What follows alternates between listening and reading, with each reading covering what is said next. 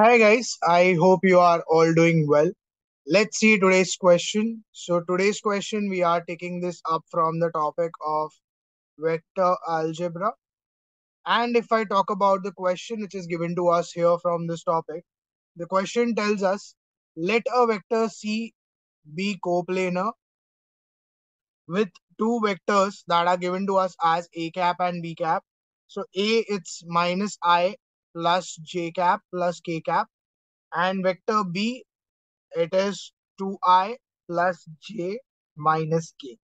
So these are the two vectors that we have been given and the question also says let the vector c also satisfy the conditions. So the conditions given is dot product of c with a plus b and the cross product of a cross b. That entire thing is given to us as minus 42 and the second condition it says cross product of C with A minus B, which is in the dot product with K cap, it is equal to 3. So the question asks us to find out the magnitude of that vector C, which is whole squared. And if I talk about the answer choices that are given to us here, they are 24, 29, 35, and 42. So we need to figure out which one of the answer choice is the correct answer for the question given to us. So let's try to solve this question first. So if I try solving, I know my vector A, it is given to me as minus i cap plus j cap plus k cap. And my vector B, it is given to me as 2i cap plus j cap minus k cap. Now let's say my vector C is having the coefficients as x, y, and z for the three-dimensional vector i, j, k. So I know if I use my first condition, that is this, that says dot product of C with A plus B and A cross B. So let's find first A plus B and A cross B. Then we'll find the cross product of that as well. So vector A plus vector B, if I'm just adding out. So minus I plus J plus K and plus 2y plus j minus k. So you get 2y minus i, which is i. j plus j is 2j. And k and minus k gets cancelled out, so you're left with i plus 2j. If you just find the cross product of the two vectors a and b, you get that as i, j, k. The coefficients of a and b, which is minus 1, 1, 1, 2, 1, minus 1. So i, this gives you minus 1, minus 1 minus j this gives you minus 1 into minus 1 which is 1 minus 2 into 1 which is minus 2 plus k which becomes minus 1 minus 2 so you get minus 2i minus j into minus 1 so plus j and this becomes minus 3k so you have your cross product of a and b as minus 2i plus j minus 3k now, the question further tells us that C is coplanar with the two vectors A and B. So I know when it is coplanar means the scalar triple product becomes equal to 0. And when I have the scalar triple product, I know it is nothing but the determinant of the coefficients of the three vectors A, B, and C. So A for C, we know it is X, Y, Z. For A, we already know the coefficients are minus 1, 1, and 1. And for B, we know it is 2, 1, and minus 1. So determinant of that, if I equate it with 0, I get X as minus 1, minus 1, minus Y. You get that as 1, minus 2. And Z, you get that as minus 1, minus 2. Equating it with 0, you get that as minus 2x. This becomes plus y and this becomes minus 3z is equal to 0. So you have one equation in terms of x, y, and z. Let's mark that as equation 1. Now let's see the other condition that we had. We found this. We found this. Now let's find the cross product of this entire thing. So if I try to find the cross product of that entire thing, I have vector a plus b. And I want to find the cross product of that with vector of a cross b. So I have again the same determinant as i, j, k.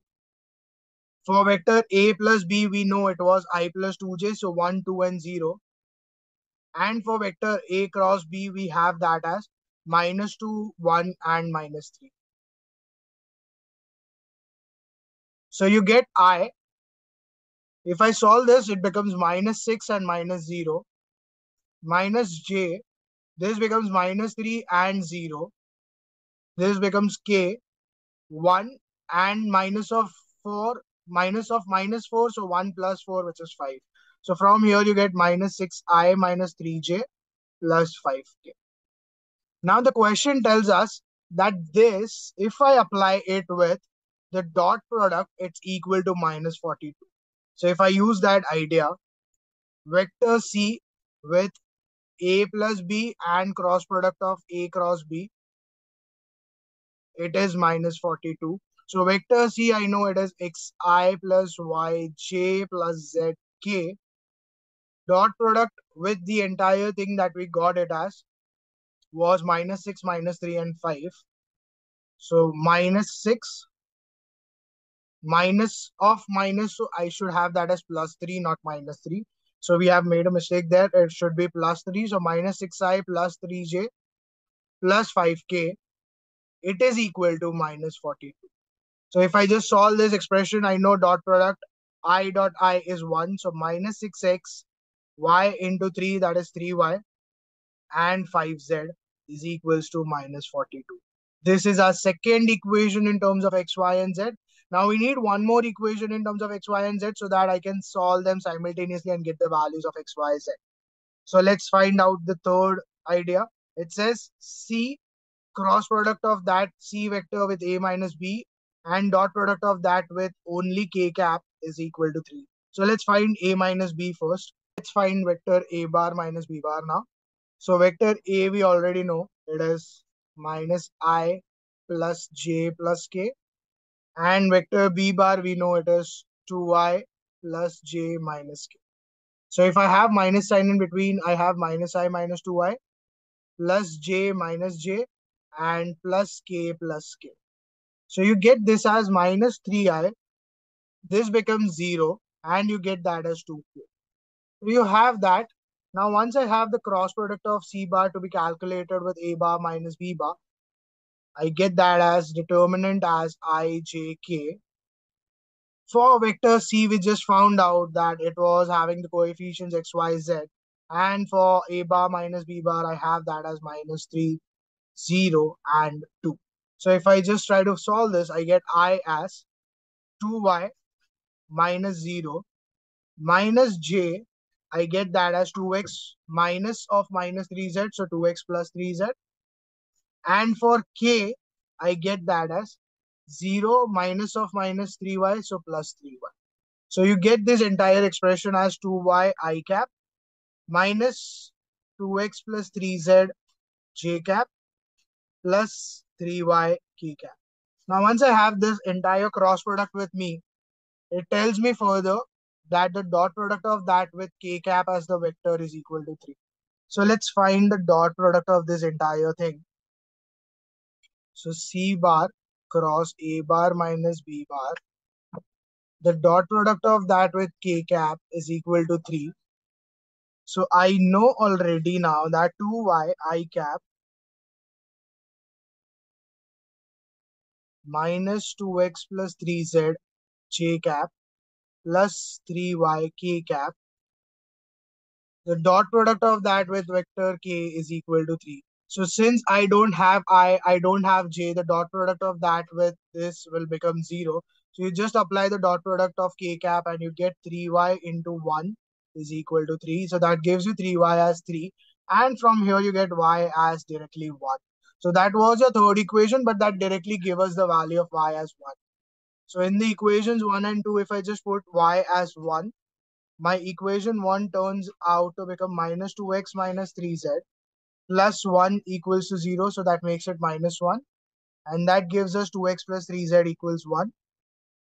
That becomes a 1 equation in terms of x and z. And the other also, if I have to put y as 1 again, this gives me minus 6x plus 5z plus 3. If it goes there, becomes minus 3 and becomes minus 45. So you have that as your fifth equation Once I have both of these equations, I solve them simultaneously. The first equation was minus 6x plus 5z equals minus 45. The second equation, I have that as 2x plus 3z equals 1.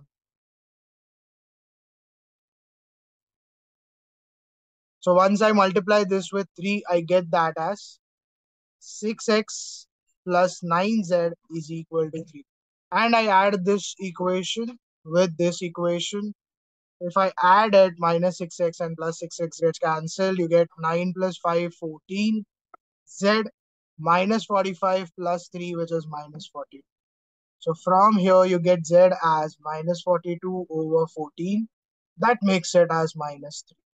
Once you get Z as minus 3, you just put that in the equation. Let's say in this equation, if I put Z as minus 3, I get X as 2X minus 9 equals 1 that gives me 2x equals 10 and that gives me x as 5. Now I have all of the ideas with me. I have x, I have y, I have z. So my vector c becomes phi i plus j minus 3k. So if I just find the magnitude of that and square it, I get square root of 5 square plus 1 square plus minus 3 square, the whole square so square root and square gets cancelled. You get 25 plus 1, 26 plus 9, which is 35. So you get the answer to the question which is asked to us and that matches with option C again. So option C becomes the answer for the question here. I hope you have understood how to solve this type of question. You just need to have the knowledge of how to find the dot product and cross product you got three equations in terms of x, y, z. Once you solve them, you got the values of x, y, z.